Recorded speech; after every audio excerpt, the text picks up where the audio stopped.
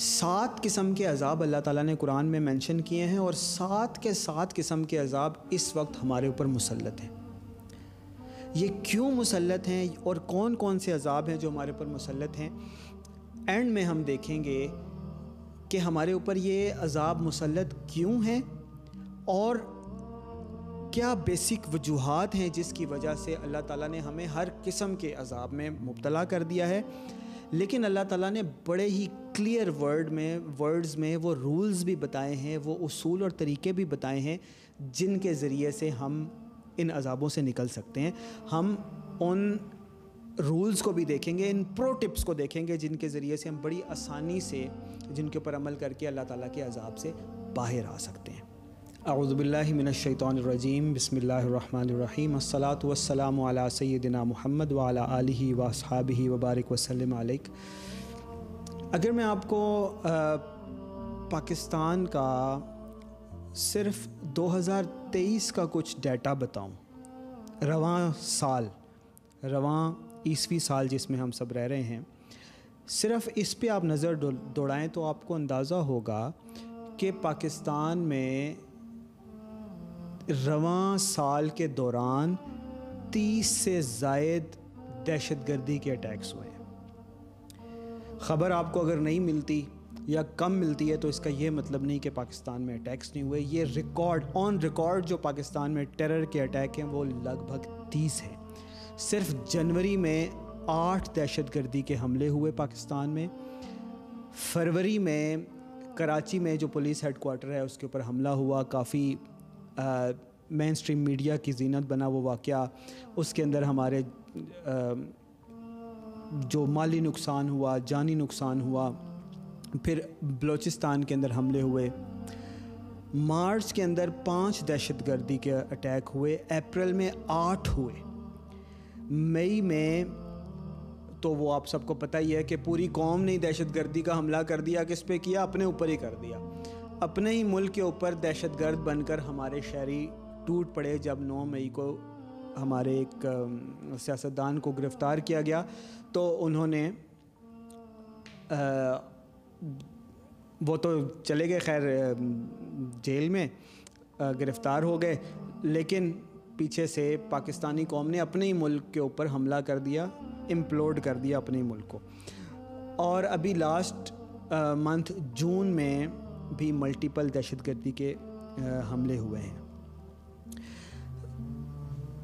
इस, इन सारे दहशतगर्दी के हमलों में दर्जनों हमारे आम शहरी भी जहाँ भक हुए पुलिस एहलकार भी और हमारे आर्म फोर्सेस के एहलकार भी शहीद हुए। सिर्फ़ ये मैं आपको 2023 की चीज़ें बता रहा हूँ। इसके अलावा अगर आप, अभी रवां माह के दौरान देखें तो कल परसों की बात है लाहौर में मजंग हॉस्पिटल की दीवार गिरी जिससे कुछ लोग ने वफात भी पाई और बहुत सारे लोग ज़ख्मी भी हुए। लाहौर में बिजली लग का करंट लगने से आ, बारिश के पानी में बहने की वजह से और मुख्तलिफ़ वाक़ात में ये जो अभी मौसमी बारिशें हो रही हैं, और सैलाब सा आ गया है लाहौर में।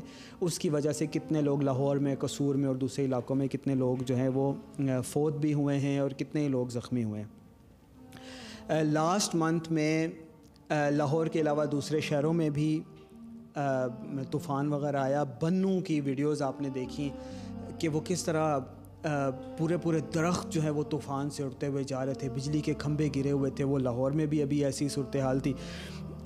बहुत सारे लोग उसके अंदर फोत हुए बन्नू में के पी के, के मुख्तलिफ़ इलाक़ों में। आ, फिर आ, पिछले ही माह जो वाक़ हुआ आ, यूनान में दो सौ से जायद पाकिस्तानी जो हैं वो एक कश्ती डूबने की वजह से वो वफात पा गए। वो भी एक कुदरती आफत का शिकार हुए।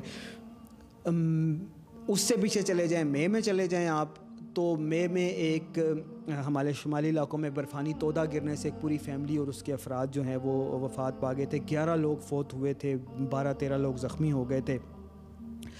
फिर आ, मार्च में आप चले जाएँ तो मार्च में सिक्स पॉइंट एट मैगनीट्यूड और कुछ ख़बरों के मुताबिक सेवन पॉइंट सेवन मैगनीट्यूड का अर्थ कोई आया था। पूरी ज़मीन शेक हुई थी। और अगर आपको याद हो, ये इक्कीस मार्च को जलज़ला आया था, इतना सख्त, और पिछली ही रात को 20 मार्च को शदीद यालाबारी हुई थी, ओले बरसे थे, फ़सलें तबाह हो गई थी। फिर मतलब और आप पीछे जाते जाएँ तो आपको अंदाज़ा होगा कि एक कंटिन्यूस नेचुरल डिज़ास्टर्स हैं जो पाकिस्तान के ऊपर पै दर पे आ रहे हैं। अगर मार्च से और पीछे चले जाएँ, फौरी आप लास्ट ईयर के एंड में आ जाएँ तो आपको पता है कि वो जो सैलाब था लास्ट क्वार्टर में पाकिस्तान में आया कि पूरा सिंध डूब गया था, पंजाब के मुख्तलिफ़ इलाके सैलाब में चले गए थे। फिर उससे पीछे सर्दियों में चले जाएँ तो मरी में इतना बड़ा वाक़ हुआ था, जहाँ पे इतने लोग वफ़ात पा गए थे फैमिलीज़ फोत हो गई थी, जहाँ पे जो बर्फ़ बर्फ़ का एक बहुत ज़्यादा बर्फ़ पड़ी थी और जो लोग वहाँ पे पिकनिक और सैर करने के लिए गए हुए थे वो बेचारे वहाँ से उनकी आ, आ, वो तो खुशियाँ मनाने गए थे लेकिन वह वहाँ से खुशियों के बजाय गम और आहें ही लेकर आए थे। अब इस सारी सीरीज़ में अगर आप देखें तो एक चीज़ और मिस कर दी हमने कि तो सिर्फ़ 2023 के अंदर जो राशन लेने के लिए लोग लाइनों में लगते हैं या इमदाद लेने के लिए लाइनों में लगते हैं उनमें दर्जन से ज़ायद लोग फोत हुए। सिर्फ़ 2023 में रवा साल में जो भी आधा गुजरा है। कहीं पे आटा आ, सस्ता आटा मिल रहा है तो उसकी लाइन है वहाँ पे भगदड़ मची या छीना झपटी हुई तो लोग आ, उसमें ज़ख्मी हुए फौत हुए। फिर कहीं पे बेनज़ीर इनकम सपोर्ट प्रोग्राम की लाइन थी तो वहाँ पे लोगों को भगदड़ मची और लोग फोत हुए तो आपको अंदाज़ा होगा, अगर आप ये पूरी सीरीज़ असल में हम भूल जाते हैं तो इसलिए मैंने कहा मैं आपको रिमाइंड कर दूँ कि दर्जनों लोग कुदरती आफात दहशत गर्दी के हमलों या भगदड़ मचने की वजह से या राइट्स की वजह से ये जो जैसे नौ मई को हुआ था, एक अवाम ने निकल के अपने ही मुल्क के ऊपर हमला कर दिया था। मुख्तलिफ़ वाक़ात में पै दर पे लोग फोत हो रहे हैं ना सिर्फ़ ये कि कुदरती आफात में लोग फोत हो रहे हैं बल्कि एक कुदरती आफात का एक सिलसिला है जो रुकने का नाम नहीं ले रहा। आप जितना पीछे जाते जाए ना तो आप कंटिन्यूसली देखेंगे कि कभी आ, मरी में बर्फ़ की वजह से लोग फोत हो जाते हैं। फैमिलीज़ बच्चे बड़े बूढ़े सब उस तकलीफ़ में आ गए उसकी लपेट में आ गए फिर कभी आपको सैलाब नज़र आएगा कभी आपको ओले गिरते हुए नज़र आएँगे कभी आंधी का तूफ़ान आता हुआ नज़र आएगा कि पूरे पूरे दरख्त तोड़े हैं कभी आपको आ, कोई वायरसेस डेंगी वायरस कोई उससे पहले कोरोना रहा है खैर और अभी डेंगी और कोई ना कोई आपको चीज़ें कंटिन्यूसली नज़र आती रहेंगी कि जो पाकिस्तान पे पै दर पे आ रही हैं। वैसे तो जब एक कोई वाक़ होता है, एक कोई आफत आती है तो उसमें हम कोरोना में आपको याद होगा, जाने भी दे रहे होते हैं छतों पे चढ़कर और अल्लाह ताला से दुआएँ भी कर रहे होते हैं, माफ़िया भी मांग रहे होते हैं, लेकिन जब वो गुज़र जाता है तो फिर हम कहते हैं कि नहीं, हमने प्लानिंग बहुत अच्छी की थी। बाकी पूरी दुनिया के लिए पाकिस्तान का मॉडल बन गया था कि हमने इतने दिन बिज़नेस ओपन रखे, इतने दिन बिज़नेस क्लोज़ रखे जब कोई सैलाब आता है तो फिर हम अल्लाह ताला से मांग रहे होते हैं अल्लाह ताला से दुआ कर रहे होते हैं कि अल्लाह ताला इस आफत को मुसीबत को टाल दे। जब वो टल जाती है तो फिर हम कहते हैं कि नहीं हमारी प्लानिंग इतनी अच्छी नहीं थी हमने आ, हमने डैम्स नहीं बनाए थे। इस वजह से ये आफत आ गई थी हमें ज़्यादा अच्छी प्लानिंग करनी चाहिए। इस तरह से हमारा एक रवैया है कौमी रवैया है जिसके अंदर हम जाते रहते हैं। और फिर हम भूल भी जाते हैं कि हमारे साथ ये सब कुछ हुआ था। एक आफत गुजरने के बाद हम भूल जाते हैं और हमें लगता है कि बस एक किस्सा पारी ना था, जैसे कभी कुछ हुआ ही नहीं। और फिर हम अपनी लाइफ में बिल्कुल ईजीली बड़ी आसानी के साथ, बड़ी बेफिक्री के साथ ज़िंदगी गुजारने लग जाते हैं। लेकिन पिछले सिर्फ़ चंद माह के जो वाक़ात हैं, अगर आप उनका एनालिसिस करें तो एक बड़ी हैरान कन हकीकत आपके सामने आएगी। और वो हैरान कन हकीकत क्या है? अल्लाह ताला ने मुख्तलिफ़ किस्म के वाक़ मुख्तलिफ़ किस्म के अजाब कुरान में बताए ठीक है? मुख्तलिफ़ किस्म के अजाब कौन कौन से हैं? एक है आंधी और तूफ़ान का अजाब। अल्लाह ताला ने फरमाया कि आउज़बिल्लिमिनशैतानरजीम सूरतुलराफ़ में अल्लाह ताला फरमाता है कि, वलक़द अख़जना आला फ़िरौना बिसनीना व नक़सिम मिनसमराती लअल्लहुम यज़क्करून कि हमने जो फ़िरौन की कौम थी, जो किप्ती थे, उनके ऊपर हमने कई साल कहत का अजाब भेजा। ठीक है? कहत साली का अजाब। एक किस्म का अजाब अल्लाह ताला ने कुरान में बताया लाल लहम यज़क्करून के शायद कि वो, अल्लाह को याद कर लें, शायद कि वो सुधर जाएँ। अल्लाह ताला ने कहत साली के अजाब का ज़िक्र कुरान में किया है, पहले किस्म का अजाब। वो हमारे ऊपर आपको अच्छी तरह मालूम है कि अगर आप सिर्फ़ रिसेंट मंथ्स का अंदाज़ा लगा लें तो आपको अंदाज़ा हो जाएगा कि वो अजाब भी हमारे ऊपर आया कि कभी गंदम नहीं मिल रही, कभी चीनी महँगी हो गई। और पाकिस्तान गंदम का इतना बड़ा प्रोड्यूसर होने के बावजूद भी गंदम बाहर से इंपोर्ट करनी पड़ रही है और ये जो स्टैम्पीड्स में, भगदड़ में लोग फोत हो रहे हैं, वो सस्ता आटा लेने के लिए तो हो रहे थे। जो बुनियादी खाने की चीज़ है, यानी आटा, वो वो लोगों को फराम नहीं हो रहा। दूसरी किस्म का अजाब अल्लाह ताला ने बताया कि हमने तूफ़ान भेजा। हमने फ़िरौन की कौम के ऊपर फ़ार सल्ला अलहिम तूफ़ान हमने उनके ऊपर तूफ़ान भेजा। ये तूफ़ान जिसका भी हमने पहले ज़िक्र भी किया है कंटिन्यूसली हमारे ऊपर आ रहा है। बन्नू का वाक़ मैंने आपके सामने ज़िक्र किया। आ, फिर ये जो हेल स्टॉम बार बार ओला बारी जाला बारी हो रही है, बारिशें आ रही हैं। ये अल्लाह ताला ने ज़िक्र किया। फिर अल्लाह ताला ने पानी के अजाब का ज़िक्र किया है कुरान मजीद में। वो पानी का अजाब भी हमारे ऊपर सैलाब बार बार आ रहे हैं। तीन किस्म के हो गए सैलाब आफतें। चौथे किस्म का अल्लाह ताला ने ज़िक्र किया है कि नक्सिम व नक्सिम मिनस समारात। हमने ये फ़सलों की बात नहीं हो रही रिज़ल्ट्स की बात हो रही है कि वो जो एफ़र्ट पुट करते थे, जो उनके प्रोजेक्ट्स होते थे, वो प्रोजेक्ट्स वो रिज़ल्ट नहीं हील्ड करते थे जो रिज़ल्ट वो एक्सपेक्ट करते थे। तो यही मामला हमारे साथ भी हो रहा है। हम टैक्सेस अपनी इकॉनमी को फिक्स करने की कोशिश कर लें, या हम कोई प्रोजेक्ट स्टार्ट कर लें, या पाकिस्तान के अंदर इकॉनमी को बूस्ट करने की कोशिश करें इंडस्ट्रियलाइजेशन की कोशिश करें, जो भी हम चीज़ करने की कोशिश करें एजुकेशन सिस्टम इम्प्रूव करने की कोशिश करें गवर्नमेंट का सिस्टम इम्प्रूव करने की कोशिश करें टैक्सेशन का सिस्टम फिक्स करने की कोशिश करें, हमें वो रिज़ल्ट नहीं मिलते। बल्कि चीज़ें वर्ष से वर्ष होती जा रही होती हैं। ये चौथे किस्म का अजाब भी हमारे पर मुसलत है कि नक्स मिन समरात, कि अल्लाह ताला रिज़ल्ट्स को चेंज कर देता है। जितनी इनपुट होती है, उतनी आउटपुट नहीं आ रही होती। फिर अल्लाह ताला ने पाँचवें किस्म का अजाब का ज़िक्र कुरान में किया है कि वल जरादा वल कुमला व ज़फ़ादिया व दमा। फिर अल्लाह ताला ने क्या किया कि मुख्तलिफ़ किस्म के इंसेक्ट्स, जर्म्स, कीड़े मकोड़े, मूजी, जानवर, इनकी बोतात कर दी पिछली कौमों के ऊपर, जिनमें फ़िरौन की कौम सर फहरिस्त है। तो ये भी हमारे ऊपर जो डेंगी का वायरस है उससे पहले कोरोना का मामला हुआ, ये बार बार और फिर वायरल इन्फेक्शंस मतलब हर साल फैलती रहती हैं बार बार ये पाँचवें किस्म का अज़ब ये सिर्फ़ हम अगर एक साल का एनालिसिस करें तो मैं आपको कुरान में मेंशन सात किस्म के अजाब हैं जो बता रहा हूँ और वो सात के सात किस्म के अजाब उनमें हम मुबतला हैं। ये तो मैं आपको बता रहा हूँ कि ये जो मुबतला हैं हम उन अजाबों में लेकिन हम एंड में एनालिसिस करेंगे कि हम इन अजाबों से निकल कैसे सकते हैं। पाँच किस्म के अजाब मैंने बता दिए। छठे किस्म का अजाब अल्लाह ताला ने कुरान में फ़रमाया है कि वमन आरदान ज़िक्री फ़िन लहू मीशतन जन का, कि जो हमारा, हमारे ज़िक्र से, हमारी याद से, हमारी इतात से अल्लाह की बात मानने से मुँह मोड़ेगा, अल्लाह ताला की नाफरमानी करेगा फ़िन लहू मीशतन जन का। अल्लाह ताला ने बताया कि मैं उनकी इकॉनमी तबाह कर दूँगा। इकॉनमी को नेस्त नाबूद कर दूँगा इकॉनमी को बिठा के रख दूँगा। इकॉनमी का, जिसको कहते हैं अपनी ज़ुबान में, कि पट्ठा बैठ जाएगा।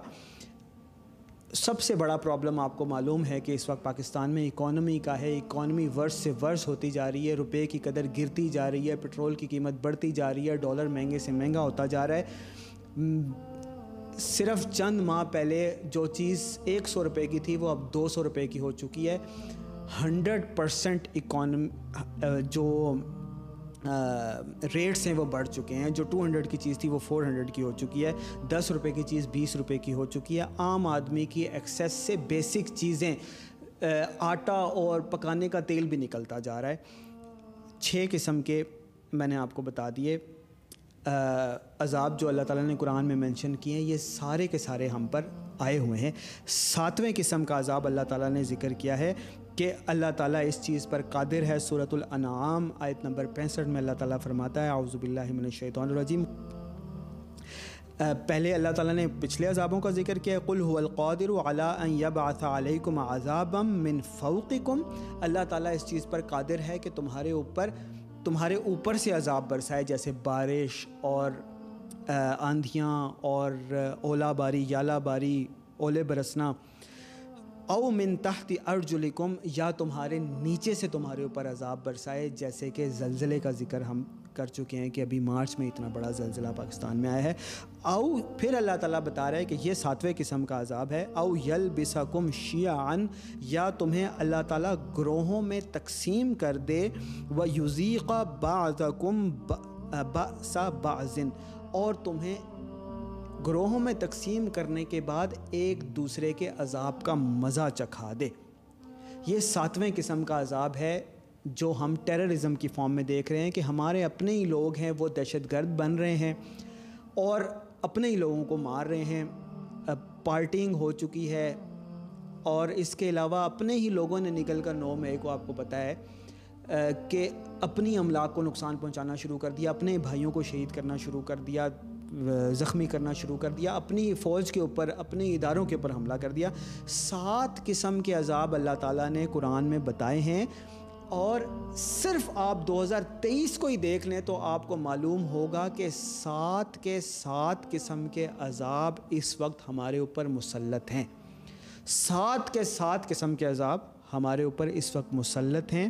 अच्छा ये तो हमने देख लिया कि अल्लाह ताला ने कुरान में जो सात किस्म के अजाब मेंशन किए हैं, वो सारे के सारे इस वक्त हमारे ऊपर मुसलत हैं। हर किस्म का अजाब है जो पाकिस्तान के ऊपर इस वक्त आया हुआ है। अब सवाल ये पैदा होता है कि ये अजाब और ये कुदरती आफतें, ये मुसीबतें, ये क्यों आती हैं?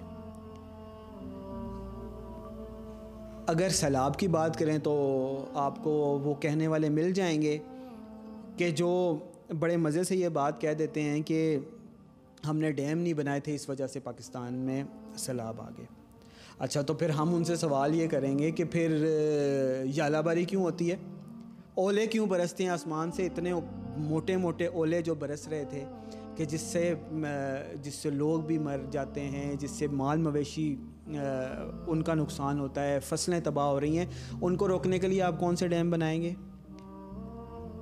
अच्छा फिर अब अगर आपके पास उसका कोई जवाब नहीं है तो फिर आप मुझे ये बता दें, अगली बात बता दें कि ये जो बर्फ़ानी तोदे गिरने से 11 लोग फौत हो गए थे और 13 लोग ज़ख्मी हुआ, हुए अभी एक डेढ़ माह पहले, या शायद मार्च में हुआ ये वाक़ उसको रोकने के लिए आप क्या करेंगे? फिर जो आंधी और तूफ़ान बन्नू में आया, उसको रोकने के लिए आप क्या करेंगे? फिर कोरोना वायरस जैसी जो आफात आ रही हैं, डेंगी वायरस जैसी आ रही हैं, उसके लिए आप कौन सा डैम बनाएँगे? फिर लैंड स्लाइडिंग के वाक़ात में जो लोग फोत हो रहे हैं, उसके लिए आप क्या करेंगे? अभी जून के महीने में जो शदीद तरीन गर्मी पड़ी है, इस कदर गर्मी पड़ी है कि कलेजे हलक को आ गए थे। उस गर्मी को रोकने के लिए आप कौन से डैम बनाएँगे? फिर ये जो बाइपर जॉय तूफ़ान आ रहा था वो तो उस वक्त तो अल्लाह ताला को याद किया इस्तफ़ार किया, अल्लाह ताला से मदद मांगी तो अल्लाह ताला ने उसका रुख मोड़ दिया। तो अगर ये ऊपर आ जाता, कराची के ऊपर चढ़ आता तो उसको रोकने के लिए आप कौन से डैम बनाते? जो कर्ज़ का अजाब अल्लाह ताला ने हमारे ऊपर मुसलत कर दिया है, उस, उसको रोकने के लिए आप कौन से डैम बनाएँगे? अगर आपको अमेरिका, यूरोप और Asian Development Bank Saudi Arabia और दूसरे ममालिक ये कर्ज़ ना दे रहे हों तो वो कर्ज़ लेने के लिए आप क्या तदबीर इख्तियार करेंगे? तो ऐसी बातों का फिर ले देकर कोई जवाब ऐसे जो जो जो मंतक के मानने वाले हैं ना, और अल्लाह ताला के मुकाबले में अपनी मंतक और नफ्स को लाने वाले लोग हैं, उनके उनके पास फिर ऐसी बातों का कोई जवाब नहीं होता। अल्लाह ताला ने कुछ बुनियादी उसूल बताए हैं, अब हम वो रूल्स देखेंगे। कुछ बेसिक रूल्स हैं। फाइव रूल्स हैं अल्लाह ताला के, जिसकी वजह से दुनिया के ऊपर आफते, मुसीबतें, अजाब आते भी हैं और उन्हीं रूल्स के तहत अल्लाह ताला कौमों के उरूज जवाल का फ़ैसला करता है कि कौन सी कौम जवाल में जाएगी, कौन सी कौम उरूज में जाएगी। अब कहाँ पे खुशहाली आएगी और कहाँ पे तनजली आएगी, ये सारे मामलात अल्लाह ताला जैसे करता है, जिस तरीके से करता है, उसके लिए अल्लाह ताला ने कुछ रूल्स बनाए हुए हैं। रूल नंबर वन, के वमा असाबकुम बेमुसीबतिन फ़बिमा कसबत ऐदीकुम। अल्लाह ताला ने बता दिया कि कोई भी मुसीबत नहीं आती जब तक के अल, जब तक के तुम खुद उसको ना कमाओ। वमा असाबकुम बेमुसीबतिन फ़बिमा कसबत ऐदीकुम कि कोई भी ऐसी मुसीबत, परेशानी नहीं है, सवाए इसके कि जो ख़ुद तुम अपने ऊपर मुसलत करो। यानी अगर जल्ज़ला आया तो वो हमारी कौम ने ख़ुद अपने ऊपर मुसलत किया। अगर बारिश हुई, सैलाब आया तो वो हमारी अपनी गलती थी। अब आप कहेंगे कि चलें ठीक है, ये तो समझ में आती है बात कि सैलाब आया तो हमारी गलती थी कि हमने डैम नहीं बनाया। तो जल्ज़ला आया तो हम इसको कैसे रोकते? हमारी उसमें क्या गलती थी? फिर आप कहेंगे कि कोरोना वायरस को रोकने के लिए हमारी क्या गलती थी? हम हम उसके लिए क्या करते? डेंगी आ रहा है उसको रोकने के लिए हम क्या करते? ओले बरस रहे हैं उसको रोकने के लिए हम क्या करते? बन्नू में तूफ़ान आ रहा था के पी के, के मुख्तलिफ़ इलाकों में कि दरख्त उड़ने लगे बिल्डिंग्स उड़ी और बिजली के खंभे तारें हर चीज़ तबाह हुई और ऐसा दिल दहला देने वाला मंज़र था कि इंसान के बस की कोई बात नहीं थी। तो इसका जवाब ये है कि फ़बिमा कसबत ऐदी कुम से मुराद ये है कि ये हमारे अमाल होते हैं कि जो अल्लाह ताला के, की रहमत या अल्लाह ताला के अजाब का फ़ैसला करते हैं। जब ये रूल नंबर वन है कि कोई भी मुसीबत नहीं आती, मगर बिमा का सबत ईदी को मगर इंसान उसे ख़ुद अपने हाथों से कमाते हैं। आप ये पूछेंगे कि अगर ऐसा ही है कि हमारे अमाल इतने बुरे हैं कि हमारे ऊपर अजाब आ रहा है तो काफिरों के अजाब, अमाल तो उससे भी बुरे हैं। वो तो शिरक कर रहे हैं, वो तो यूरोप वाले और अमेरिका वाले, वो तो नाउज़ुबिल्ला सुम्मा नाउज़ुबिल्ला हज़रत ईसीम को अल्लाह ताली का बेटा कहते हैं। अल्लाह ताला ने हालाँकि कुरान में कहा है कि कबूरत कलीमत तखरुज मिन अफवाहिम। ये तो ऐसे है नवज़ुबिल्ला सुम्मा नवज़ुबिल्ला के जैसे ही अल्लाह को गाली दे रहे हैं। तो फिर क्यों अमेरिका तरक्की कर रहा है? वो क्यों सुपर पावर है? इस वक्त यूरोप में क्यों खुशहाली है? इस वक्त चाइना क्यों दुनिया की एक, इकनॉमिक पावर बन चुका है? इस वक्त रशिया क्यों तेल से माला माल है? इस वक्त क्यों रशिया एक सुपर पावर है? आपका यह सवाल होगा। कि अगर मुसीबत अमाल की वजह से आती है तो ये मुसीबतें सारी पाकिस्तान में ही क्यों आ रही हैं? इराक ही क्यों तबाह हो रहा है? यमन ही क्यों तबाह हो रहा है? मुसलमानों के ऊपर ही क्यों बर्फ़ गिर रही है, बिजली गिर रही है? तो फिर यहाँ पर अल्लाह का रूल नंबर टू आएगा। और रूल नंबर टू ये है कि rules are different for the Muslims. Rule number one ये है कि वमा असाबकुम बेमुसीबत फ़बिमा कसबत ऐदीकुम। कि तुम्हारे ऊपर कोई मुसीबत नहीं आती, कोई परेशानी, कोई अजाब नहीं आता, मगर तुम्हारे अमाल की वजह से आता है। रूल नंबर टू है कि ये रूल्स जितने भी हैं, अभी मज़ीद रूल्स भी हम देखेंगे, five rules. Rule number two ये है कि rules are different for Muslims.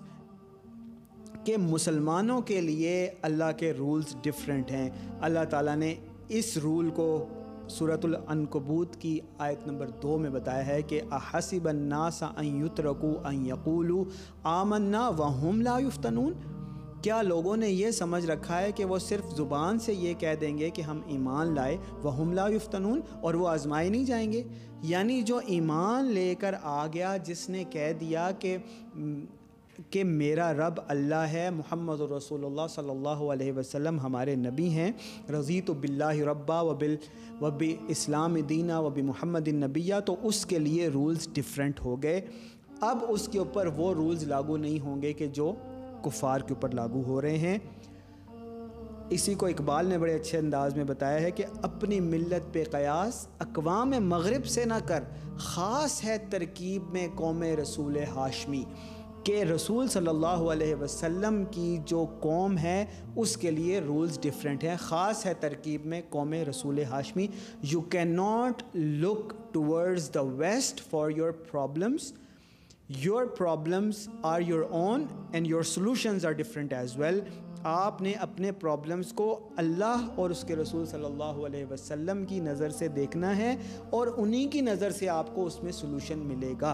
Waste के तरीक़ों पर अगर आप चलेंगे तो वेस्ट कामयाब हो सकता है अल्लाह के ख़िलाफ़ चल के। आप अल्लाह के ख़िलाफ़ चलेंगे तो अजाब का शिकार होंगे, तकलीफ़ का शिकार होंगे, मुसीबत का शिकार होंगे। इसी रूल को अल्लाह ताला ने मज़ीद सूरत ज़ुखरुफ में बयान किया है कि वलव सूरत ज़ुखरुफ की आयत नंबर तैंतीस, चौंतीस और पैंतीस है। आउज़बिल्लिमिनशैतरजीम अन्नासु उम्मतम वाहिदतल्लजअलना लिमन यकफुरु लिबुयूतिहिम सुकुफम मिन फिज़्ज़तिन व मआरिज अलैहा यज़हरून। वलिबुयूतिहिम अबवाबन व सुरुरन अलैहा यत्तकिऊन।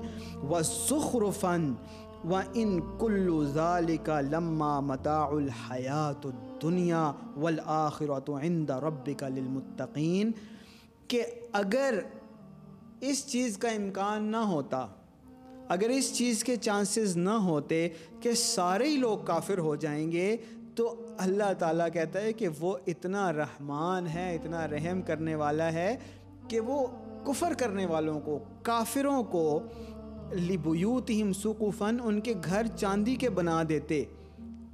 सुकुफ़म मिनफिस जातिन तो उनके घरों की छतों को चांदी का बना देता।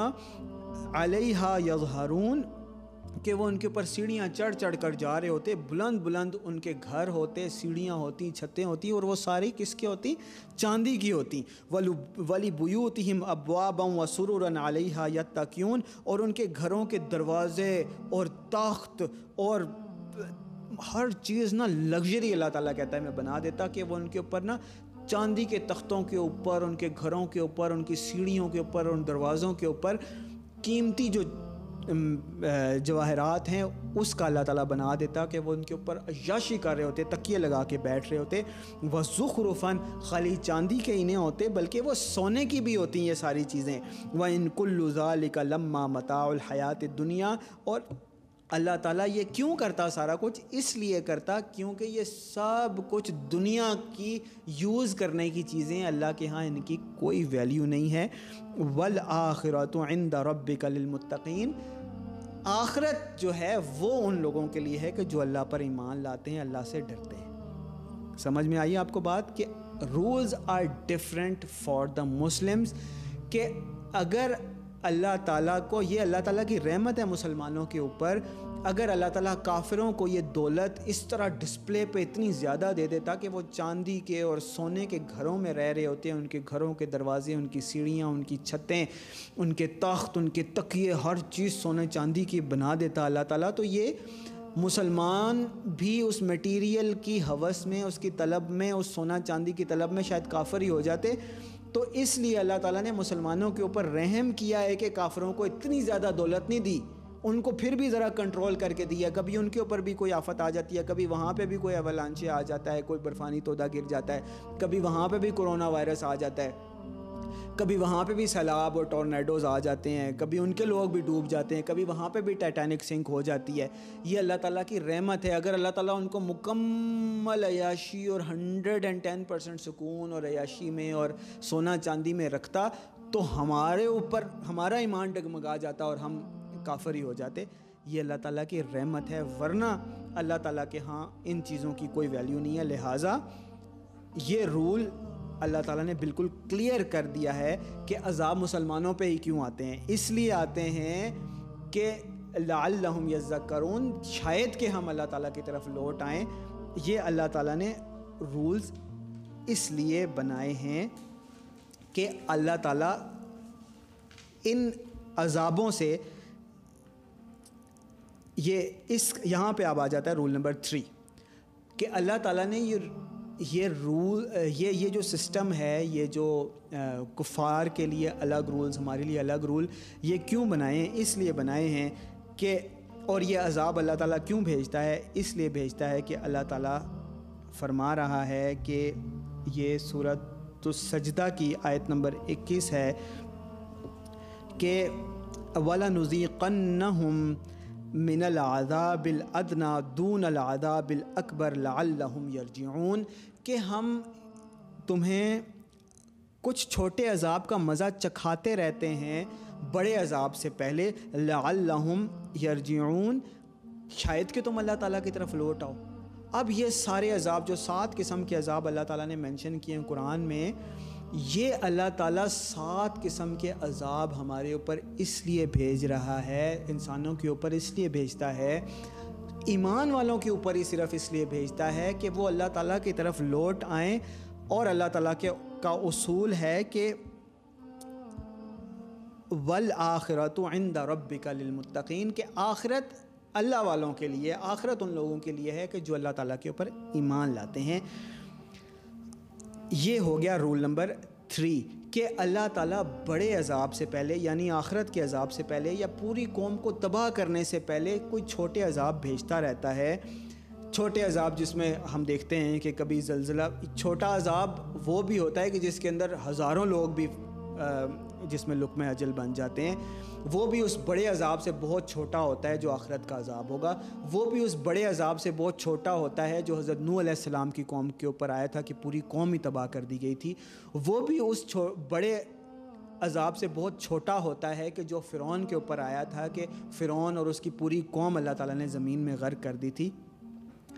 तो ये सारे के सारे चाहे वो सैलाब हो, आंधियाँ हों, जलज़ले हों मुख्तलिफ़ वायरसेस हों, डेंगी हो बारिशें हों, बर्फ़ानी तोदे गिरना हों यालाबारी हो, ओले बरसना हो, ये सारे के सारे क्या हैं जिसमें हज़ारों लोग भी अफेक्ट हो रहे होते हैं। ये उस, उन बड़े अजाबों से छोटे अजाब हैं कि शायद कि हम अल्लाह ताला की तरफ़ लौट आएँ। और ये किसके साथ होता है? ये ये जो इस तरह के अजाब होते हैं, ये अल्लाह ताला उन कौमों के ऊपर भेजता है कि जिन के जिनको, जिनकी अल्लाह ताला ने इसलाह करनी होती है, जिनकी अल्लाह ताला ज़बरदस्ती असलाह कर रहा होता है। जैसे अल्लाह ताला ने इस तरह के मुख्तलफ़ जो अजाब हैं, तकलीफ़ें हैं, अहल मक्का के ऊपर भेजी थी और फिर अल्लाह ताला ने तौफीक दी उनमें से बहुत सौ को कि वो ईमान ले आए और मोहम्मद रसूलुल्लाह सल्लल्लाहु अलैहि वसल्लम के साथ शामिल हुए।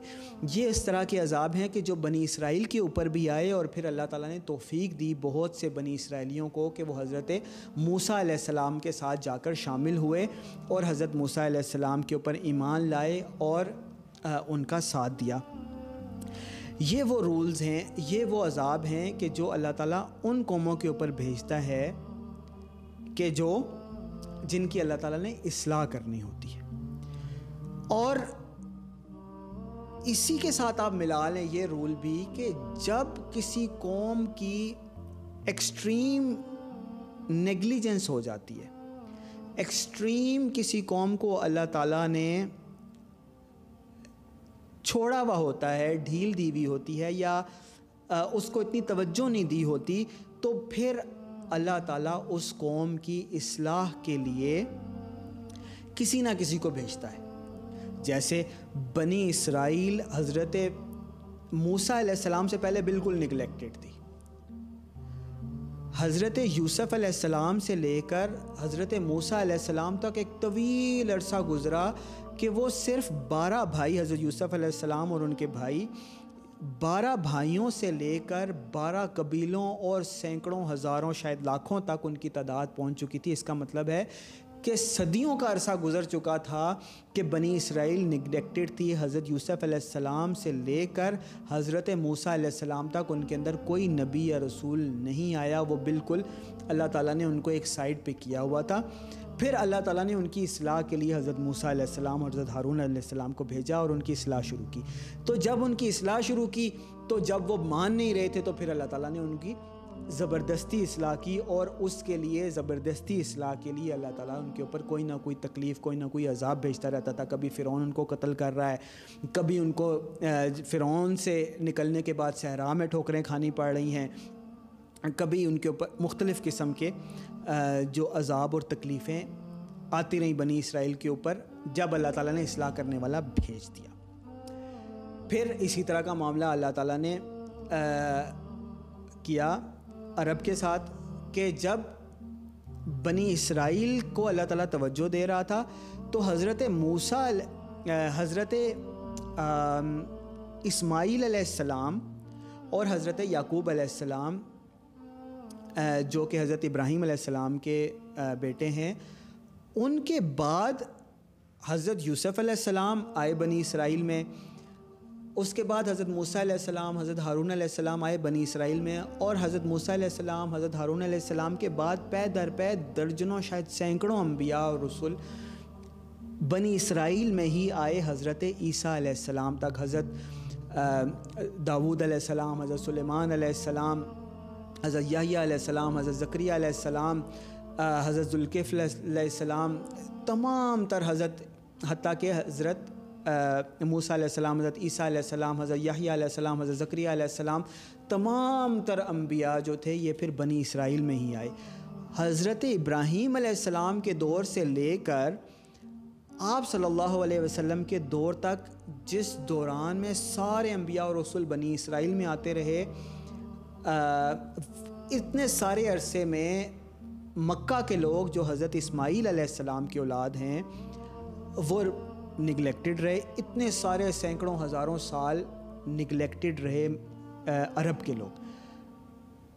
फिर एक्सट्रीम निगलेक्ट निगलेक्ट होने के बाद हती कि वो हज़रत इसमाईल की औलाद होने के बावजूद, इस कदर जहालत में पड़ गए नबूत और रसालत से इस कदर दूर हो गए कि उन्होंने बुत परस्ती शुरू कर दी।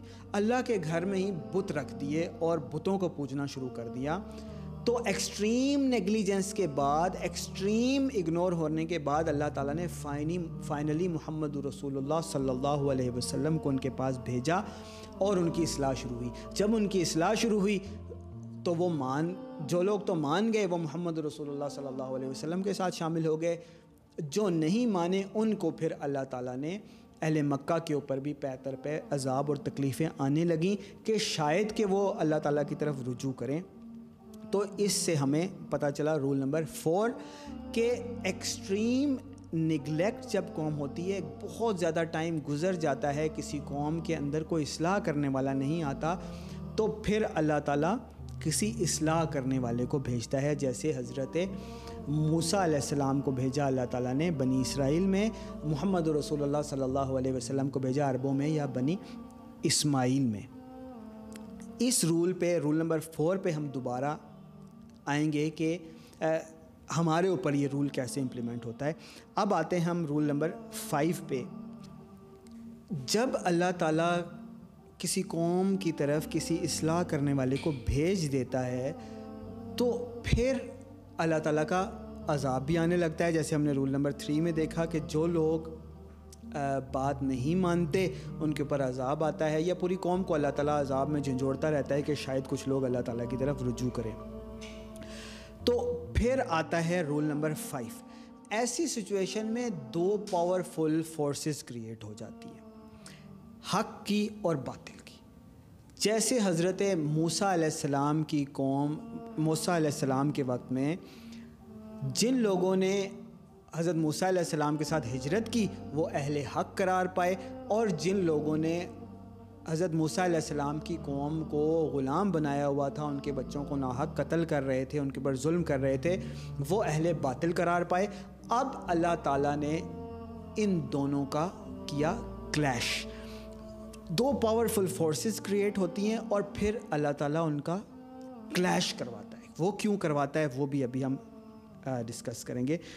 यही मामला हुआ मोहम्मद रसूलुल्लाह सल्लल्लाहु अलैहि वसल्लम के दौर में कि जिन लोगों ने आप सल्लल्लाहु अलैहि वसल्लम का साथ दिया, वो लोग अहले हक करार पाए और जिन लोगों ने आप सल्लल्लाहु अलैहि वसल्लम की मुखालफत कर, की वो हुए अबू जहल और अबू लहब दो एक्सट्रीम पोल्स क्रिएट हुए, एक एक्सट्रीम हक वाले और एक एक्सट्रीम बातिल वाले, अल्लाह ताला के दुश्मन करार पाए। यही मामला पास्ट में भी बार बार होता रहा है कि जब भी अल्लाह ताला किसी नबी को, रसूल को या किसी भी असलाह करने वाले को, किसी मुजद्द को भेजता है तो उनके साथ खड़े होने वाले हक वाले करार पाते हैं और उनकी मुखालफत करने वाले बातिल वाले करार पाते हैं और फिर अल्लाह ताला करता है दोनों का क्लैश वो क्यों करता है? अल्लाह ताला ने इसको, इस रूल को, ये जो दो पावरफुल पोल्स हैं, उनका जो क्लैश है, इसको क्रिएट किया इसको अल्लाह ताला क्यों क्रिएट करता है? इसको अल्लाह ताला ने सूरतुल अंबिया की आयत नंबर 16 में बताया है कि वमा खलक न समा वल अरदा वमा बैनहुमा लाइबीन, के हमने ये ज़मीन और आसमान को खेल और तमाशा नहीं बनाया, एक शुगल नहीं बनाया। लव अरदना अन तखिज़ा लहवा, अगर हमने इसे कोई खेल या फजूल चीज़ ही बनानी होती लत तखज ना हो मिल्ला दुन्ना तो हम इसे कोई अपने पास कोई चीज़ बना लेते इसमें इंसानों को इन्वॉल्व करना, जन्नात को इन्वॉल्व करना, फ़रिश्तों को इन्वॉल्व करना, चरिंद परिंद हैवानात, पूरे एक यूनिवर्स के निज़ाम को इन्वॉल्व करने की क्या ज़रूरत थी? अल्लाह ताला कह रहे हैं कि हम अपने पास ही कोई खेल बना लेते, कोई गेम बना लेते, हम खुद ही खेलते रहते। लत तखज ना हूँ मिल्लादुन्ना इन कुन्ना फ़ाइलिन, अगर हमने ऐसा कुछ करना होता, ये बिल्कुल गलत बात है, ऐसा नहीं है, ये खेल तमाशा नहीं है। बल नक़िफ़ बिलहक़ी बल्कि हमने ये सारा सिस्टम इसलिए बनाया है, बल नक़िफ़ बिलहक़ी कि हम हक को पटख देते हैं, दे मारते हैं अलल बातिली, बातिल के ऊपर। हक को, यानी जो दो पोल्स क्रिएट होते हैं, जब भी हक और बातिल का मौका होता है तो अल्लाह ताला हक को उठाकर पटख देता है बातिल के ऊपर। फ़यद मगु, और बातिल का भेजा भुरकस निकाल के रख देता है हक। फ़ाइज़ा फ़ाइज़ा हुआ जाहिक, और अब ये जो बातिल है, ये ख़त्म होकर रह जाता है, मिट के रह जाता है। ये रूल नंबर फाइव है कि अल्लाह ताला दो पोल्स क्रिएट करता है, हक और बातिल की दो फोर्सेस क्रिएट करता है। अक्सर हक की फ़ोर्स बहुत छोटी होती है, जैसे मोहम्मद रसूलुल्लाह सल्लल्लाहु अलैहि वसल्लम के साथ सिर्फ़ 313 लोग थे। लेकिन दूसरी तरफ़ एक हज़ार से भी ज़्यादा लश्कर था और अल्लाह ताला ने हक को बातिल के ऊपर दे मारा, पटख दिया और बातिल का भुरकस भेजा निकाल कर रख दिया। अबू जहल के सारे के सारे तकबर को खाक में मिला कर रख दिया कि दो बच्चे जो हैं वो उसको जहनुम वासिल कर देते हैं। अबू लहब की सारी तो ताकत, दौलत का नशा खाक में मिल गया। उसके जिसम में कीड़े पड़ गए। अल्लाह ताला की लानत उसके ऊपर हुई। अल्लाह ताला ने ख़ुद उसे बदवा दी कि तब्बत यदा अबी लहब, तबाह बर्बाद हो जाए, हाथ टूटें अबू लहब के।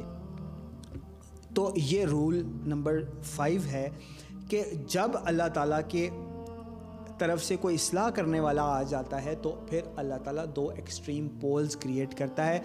और फिर एक हक वाला पोल होता है और एक बातिल वाला। अल्लाह ताला पहले पूरी कौम को, जैसे हमने रूल नंबर थ्री में देखा कि अल्लाह ताला पूरी कौम को की ज़बरदस्ती असलाह बार बार उनको अजाब और तकलीफ़, आजमाइश भेज भेज कर अब झंझोड़ता रहता है कि शायद कि ये अल्लाह ताला की तरफ़ रुजू कर लें। तो जो लोग रुजू करने लग जाते हैं अल्लाह ताला की तरफ़, उस उस अजाब और तकलीफ़ के बाद अल्लाह ताला की तरफ़ आने लग जाते हैं, वो अहल हक करार पाते हैं और जो नहीं आते, वो अहल बातिल करार पाते हैं। फिर अल्लाह ताला अहल हक से अहल बातिल को नेस्ते, नेस्तो नाबूद करके रख देता है। फ़ाइज़ा हुआ ज़ाहिक हती के बातिल मिट के रह जाता है कि जैसे कि अरब की सरजमीन में हुआ, वहाँ पर बातिल का नामो निशान ही ना रहा। तो ये था रूल नंबर फाइव अब आ जाए रूल नंबर सिक्स पे। जब ऐसे होने लग जाता है तो ओवर टाइम ऐसे होता है कि जो अहले हक हैं, वो आपको मालूम है कि जैसे आप सल्लल्लाहु अलैहि वसल्लम और उनके साथ सहाबा थे, वो इस दुनिया से विसाल फरमा गए। तो फिर उनके बाद अगली नस्ल अगली नस्ल अगली नस्ल हती के आज की कौम आ गई तो फिर उस कौम के अंदर गफलत आने लग जाती है, नबूवत, रसालत, अल्लाह ताला की असलाह से कौमें दूर होने लग जाती हैं।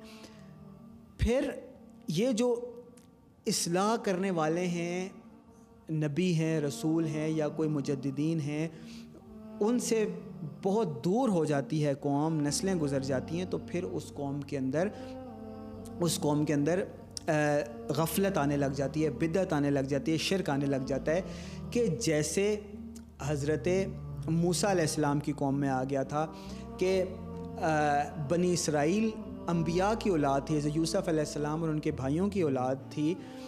लेकिन बनी इसराइल इस कदर गाफिल हो चुके थे कि हज़रत मूसा थोड़ी देर के लिए कोहे, थोड़े दिनों के लिए कोहे तूर पर जाते हैं तो पीछे वो एक बछड़े को ढाल कर अपने हाथों से बनाकर उसको पूजा करने लग जाते हैं, एक्सट्रीम शिरक करने लग जाते हैं। हज़रत इब्राहीम आसमाम की औलाद, हज़रत इसमाईल और उनकी नस्ल में जब नबूत हज़रत इसमाईल से बहुत दूर हो गए अरब के लोग तो वहाँ पे क्या हुआ कि उन्होंने जो अल्लाह ताला का काबा, अल्लाह ताला का घर बना इसलिए था कि यहाँ पे अल्लाह की इबादत की जाए, शिर को ख़त्म किया जाए, वहीं पे उन्होंने बुत रख लिए थे। नबूत और रसालत से बहुत दूर होने की वजह से उनके अंदर गफलत आ गई थी। जब ऐसे होता है, बनी इसराइल में भी ऐसे हुआ था कि पै दर पे फिर जब हज़रत मूसा ने, एक दफ़ा तो ऐसे हुआ कि अल्लाह ताला ने हज़रत यूसुफ़ अलैहिस्सलाम को भेजा तो उनकी नस्ल में गफलत आई, लेकिन इतने सारे अरसे में अल्लाह ताला ने उनकी असलाह के लिए भी किसी को नहीं भेजा था। तो उनके अंदर जो गफलत आई थी तो फिर अल्लाह ताला ने हज़रत मूसा को भेजा, बल्कि बार बार अम्बिया और रसुल को भेजा। तो फिर उनकी असलाह भी हुई, लेकिन आखिरकार एक दफ़ा फिर बनी इसराइल एक्सट्रीम गफलत में चले गए। जब वो एक्सट्रीम गफलत में चले गए तो यहाँ पे अल्लाह ताला का रूल नंबर सिक्स आ गया। और वो रूल नंबर वो रूल क्या है?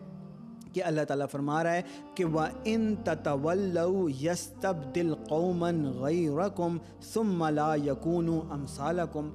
कि अब इसलाह के बाद ज़बरदस्ती, पहले तो अल्लाह ताला ने इसलाह करने वाले को भेजा हज़रत मूसा को। जब इसलाह के बाद वो कौम दोबारा गफलत में चली जाती है, जब अल्लाह ताला का रास्ता छोड़ने लग जाती है तो फिर अल्लाह ताला उस कौम को बदल देता है। दूसरी कौम से सुम ला यकून अमसालकुम वो फिर अल्लाह ताला फरमा रहा है कि मैं तुम्हारी जगह दूसरी कौम को ले आऊँगा, वो फिर तुम्हारे जैसे नहीं होंगे। फिर अल्लाह ताला ने क्या किया कि बनी इसराइल को इतनी ज़्यादा असलाह के मौके देने के बाद अल्लाह ताला ने बनी इसराइल को बदल दिया। अब बारी आ गई बनी इस्माइल की। अब वहाँ पे अल्लाह ताला ने मोहम्मद रसूलुल्लाह सल्लल्लाहु अलैहि वसल्लम को इसलाह के लिए भेजा। और मोहम्मद रसूलुल्लाह सल्लल्लाहु अलैहि वसल्लम और उनके साथी ऐसे थे कि जो फिर बनी इसराइल की तरह नहीं थे। जैसे सहाबा ने भी आप सल्लल्लाहु अलैहि वसल्लम को फरमाया था कि हम हम बनी इसराइल की तरह नहीं हैं या रसूलुल्लाह, और फिर उन्होंने हक़ अदा किया था आप सल्लल्लाहु अलैहि वसल्लम के ऊपर जान निछावर करने का, आप सल्लल्लाहु अलैहि वसल्लम का साथ देने का, और आप सल्लल्लाहु अलैहि वसल्लम की इतात का।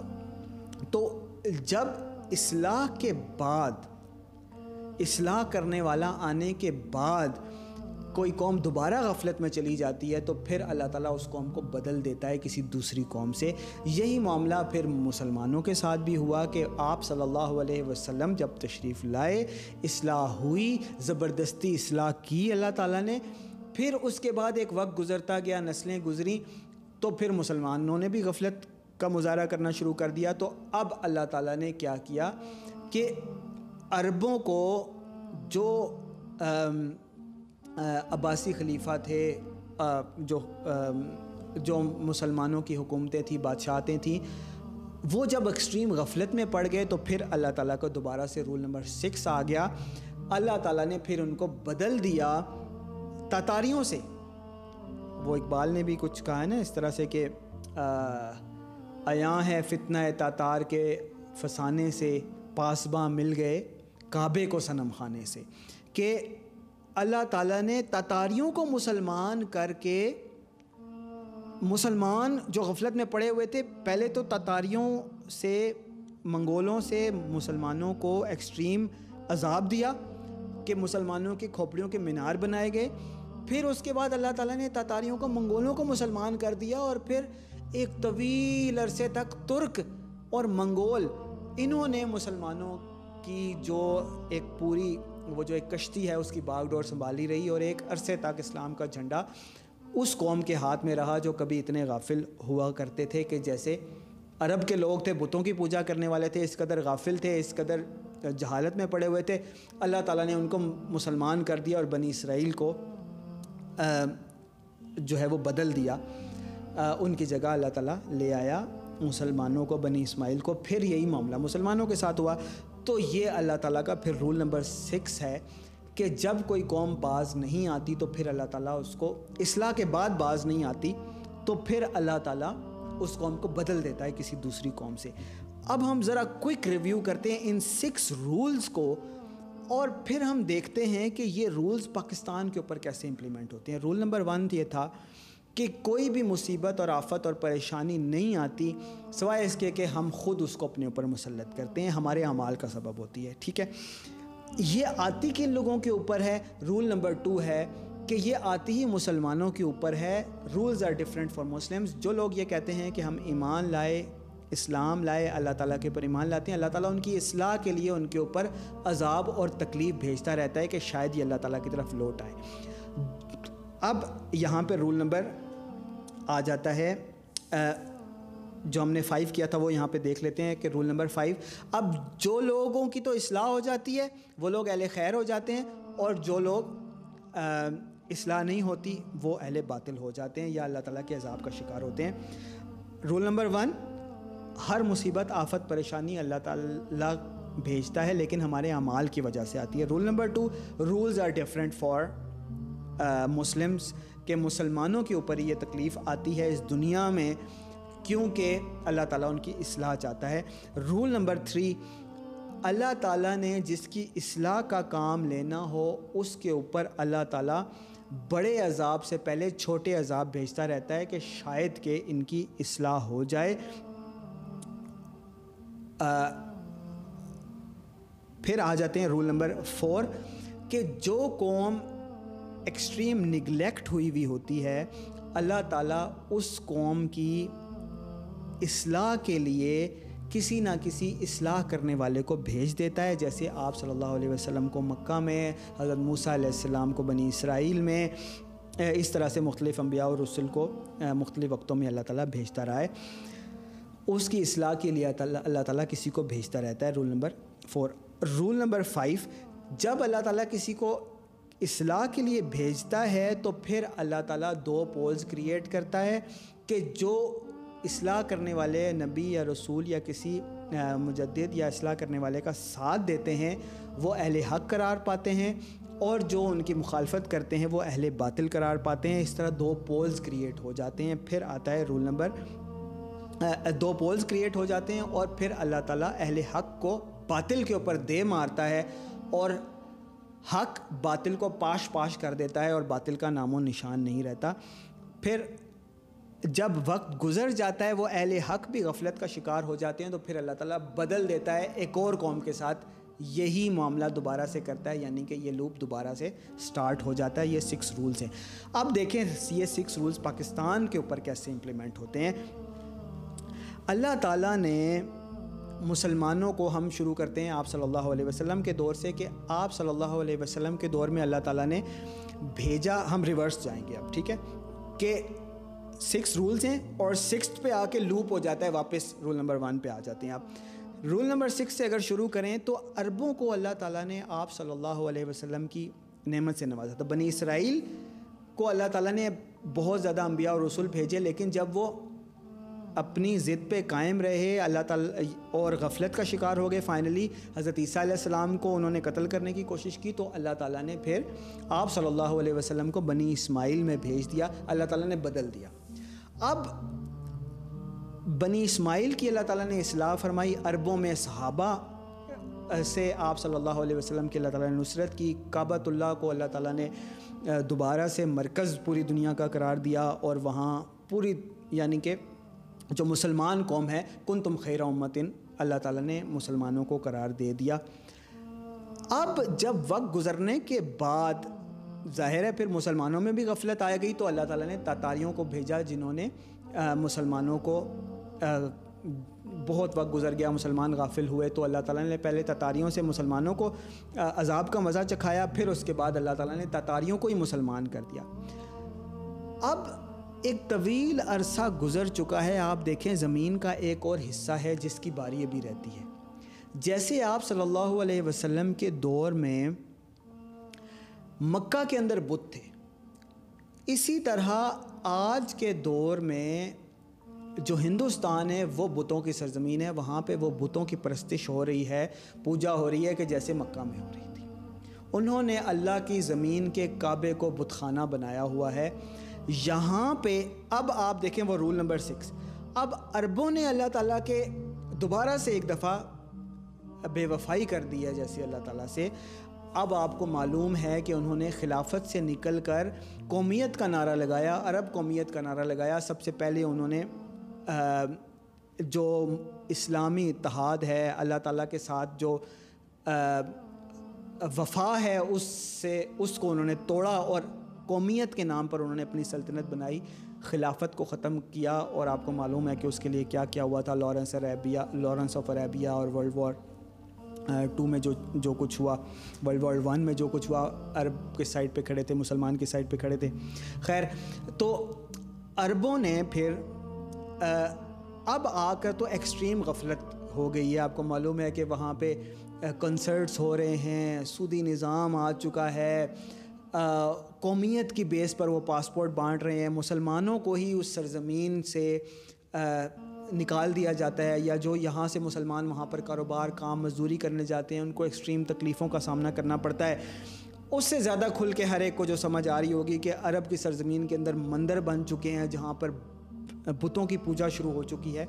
तो अब अरबों ने एक दफ़ा फिर यहाँ पे रूल नंबर सिक्स दोबारा आना है कि अरबों को अल्लाह ताला ने एक दफ़ा फिर बदलना है। अब किस कौम से बदलना है? रूल नंबर फोर के एक्सट्रीम नेगलिजेंस बहुत अरसा गुजर चुका हो जिस कौम में, चाहे वो बहुत गुनागार हो, जैसे वो अरब थे, वो बुतों की पूजा कर रहे थे, लेकिन अल्लाह ताला ने क्योंकि बहुत अरसे से इसलाह करने वाला नहीं भेजा था, इसलिए अल्लाह ताला ने मोहम्मद रसूलुल्लाह को भेजा और उनकी ज़बरदस्ती इसलाह की। इस तरह अल्लाह ताला ने इस हिंदुस्तान की सरजमीन के ऊपर बर सग़ीर के ऊपर किसी ऐसे इसलाह करने वाले को भेजना है ताकि वो इनकी इसलाह करे और जो पहले वाली कौम है उसको बदला जा सके। और ये हम बार बार पहले भी डिस्कस कर चुके हैं, आज फिर आपको बता देते हैं, ये किसी से ढकी चुपी बात नहीं रही। अब आप सब तक ये बात पहुँच चुकी है कि इस सरज़मीन के ऊपर इसलाह के लिए अल्लाह ताला ने इमाम महदी रहमा को भेजना है कि जो अल्लाह ताला भेज चुका है और सबसे पहली बात ही उन्होंने ये की है कि शिरक को ख़त्म करना है और बहुत सारे लोग अब उनके साथ शामिल हो चुके हैं और शिरक को ख़त्म कर रहे हैं। तो अब ये देखें ना रिवर्स रूल कि अल्लाह ताला ने, अल्लाह ताला बदल रहा है अब अरबों को। किन लोगों से? उन लोगों से जो बुतों की पूजा करने वाले थे। अब उनकी असलाह हो रही है। यहाँ इस बर सग़ीर की सरज़मीन के ऊपर असलाह हो रही है। और यहाँ से वो लोग निकल रहे हैं कि जो जिनकी अल्लाह ताला इमाम मादी के ज़रिए से असलाह कर रहा है और करेगा। और फिर ये वो लोग हैं जो इमाम महदी का साथ देंगे। और फिर क्या होगा? जब अल्लाह ताला किसी के अंदर इसलाह करने वाला भेजता है तो हम पहले डिस्कस कर चुके हैं। क्या होता है फिर? रूल नंबर सिक्स से उल्टा जा रहे हैं हम। आ जाए रूल नंबर फाइव पे, कि फिर दो पोल्स क्रिएट। जो लोग तो इमाम महदी का साथ देंगे या दे रहे हैं, वो अहल हक करार पाएँगे या अहल हक करार पा रहे हैं, और जो उनकी मुखालफत करेंगे, वो अहल बातिल होंगे। और फिर क्या होगा कि अल्लाह ताला इन दो पावरफुल फोर्सेस का फिर क्लैश कराता है कि जो अल्लाह ताला फिर गजवा हिंद की सूरत में इन पावरफुल फोर्सेस का क्लैश कराएगा। अहले अरब में से भी, पूरी दुनिया के मुसलमानों में से लोग आएँगे, इमाम महदी के साथ शामिल होंगे और अहले हक हो जाएँगे। फिर गजबा हिंद होगा। किसके साथ? जैसे अहले मदीना का हुआ था, अहले मक्का के साथ। और अल्लाह ताला ने अहले मक्का को पाश पाश करके रख दिया था, ख़त्म करके रख दिया था। और जो बातिल है, वो ख़त्म होकर रह गया था, मिट के रह गया था। और मक्का के सरज़मीन के ऊपर भी इसलाह का काम हुआ था। अल्लाह का काबा जो है, वो बुतों से पाक कर दिया गया था। तो यहाँ से फिर वो क्लैश होगा हिंदुस्तान के लोगों के साथ। और बाकी सारी फोर्सेस जो पूरी दुनिया की हैं, अब ये जो ग्लोबल ऑर्डर है, ये बिल्कुल एंड पे पहुँच चुका है। इस ग्लोबल ऑर्डर के ख़त्म होने का वक्त आ गया है। हज़रत आदम सलाम से लेकर जो सिलसिला शुरू हुआ था नबूत और रसालत का, आप सल्लल्लाहु अलैहि वसल्लम के ऊपर वो आकर ख़त्म हुआ। तो आप सल्लल्लाहु अलैहि वसल्लम के बाद कोई नबी या रसूल नहीं आना। अब अल्लाह ताला ने ये इसलाह का काम इमाम महदी से लेना है। और इमाम महदी जो होंगे, वो पूरी दुनिया के ऊपर अल्लाह ताला का निज़ाम और इस्लाम की हुकूमत कायम करेंगे। लिहाजा ये जो क्लैश होगा, ये ग्लोबल क्लैश होगा, जिसको आप क्लैश ऑफ़ सिविलाइजेशंस भी कहते हैं। तो रूल नंबर फाइव क्या है कि दो पावरफुल फोर्सेस क्रिएट होती हैं और फिर वो पावरफुल फोर्सेस क्लैश होती हैं। तो वो जो अहल हक की फ़ोर्स है, वो अहले पाकिस्तान या मुसलमान हैं, पूरी दुनिया से मुसलमान आकर पाकिस्तान के साथ शामिल होंगे। इनका क्लैश होगा अहले हक, अहल बातिल, अहले हक की front line Pakistan flagship Pakistan और अहले बातिल के फ्लैगशिप हिंदुस्तान, जिनका आपस में क्लैश होगा और अहले बातिल के साथ पूरी दुनिया की कुफर की फोर्सेस होंगी और अहले हक जो हैं, वो चंद होंगे 313 जिनको कह लें लॉजिकली स्पीकिंग ऐसे ही बनता है कि जैसे सिर्फ़ 313 हो, दूसरी तरफ़ एक एक्सट्रीम बड़ी फोर्स हो तो चंद, एक बहुत स्मॉल फोर्स मुसलमानों की, पाकिस्तान की फ्लैगशिप में, और बहुत बड़ी फ़ोर्स कुफ़ार की, वो हिंदुस्तान की फ्लैगशिप में इनका क्लैश होगा, और अल्लाह ताला फिर, अल्लाह ताला ने पहले बताया कि अल्लाह ताला बातिल को सूरत सूरतलम्बिया में जैसे बताया कि अल्लाह ताला बातिल को नेस्त नाबूद कर देता है हक को बातिल के ऊपर दे मारता है और बातिल का भेजा निकाल कर रख देता है। ये होगा पाकिस्तान और हिंदुस्तान के साथ। अब आ जाए रूल नंबर फोर के ऊपर।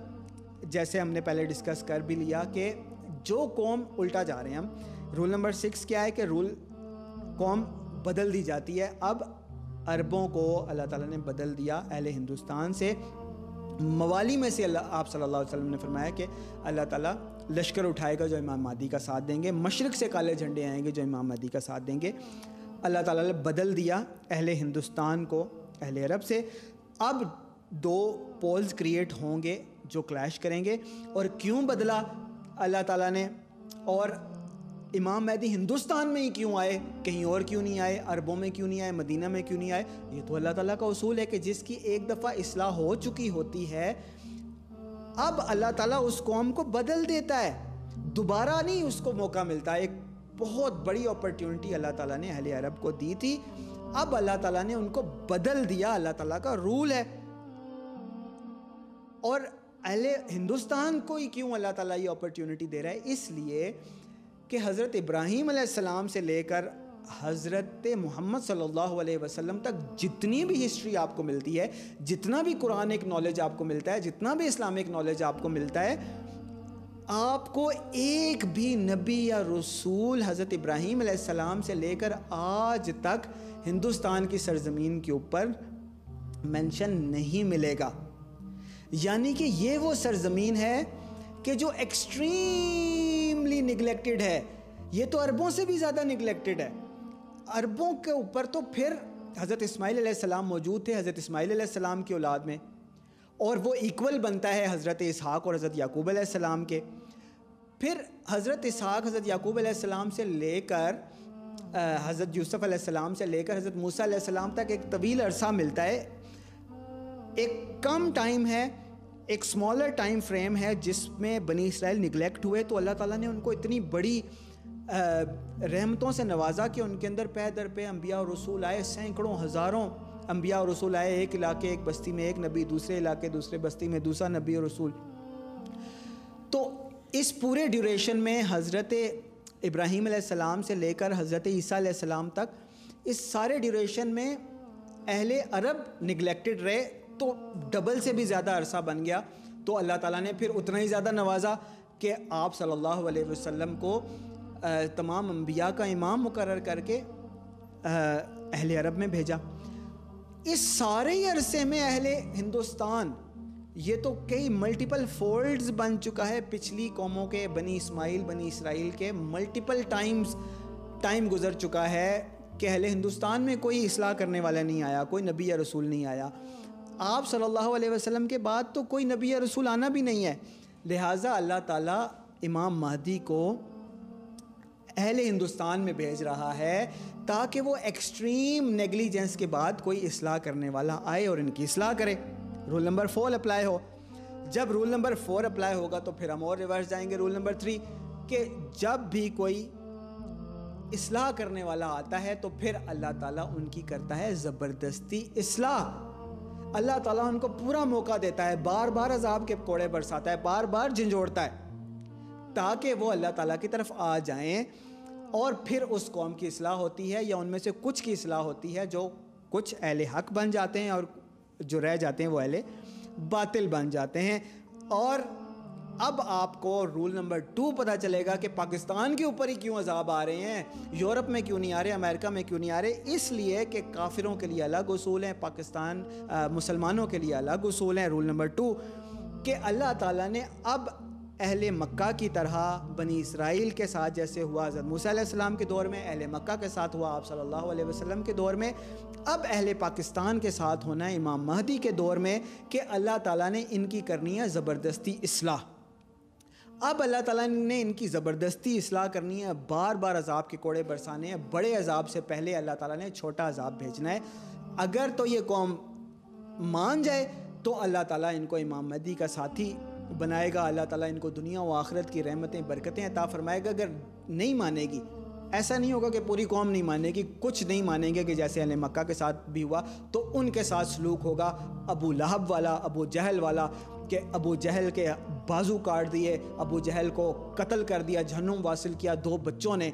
और अबू लहब को अल्लाह ताला ने ख़ुद अपनी फटकार का शिकार किया, अल्लाह ताला ने ख़ुद उसे बदवा दी।